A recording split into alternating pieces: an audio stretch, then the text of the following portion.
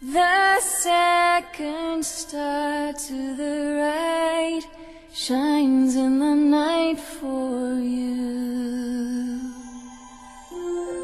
to tell you that the dreams you plan really can come true.